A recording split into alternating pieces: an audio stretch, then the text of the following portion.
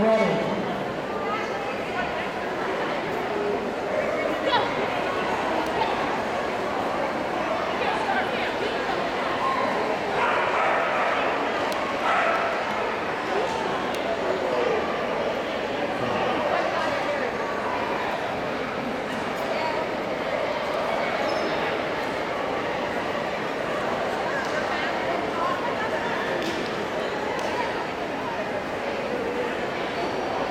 Is Victoria Newland on course with her seven-year-old giant schnauzer, Petra.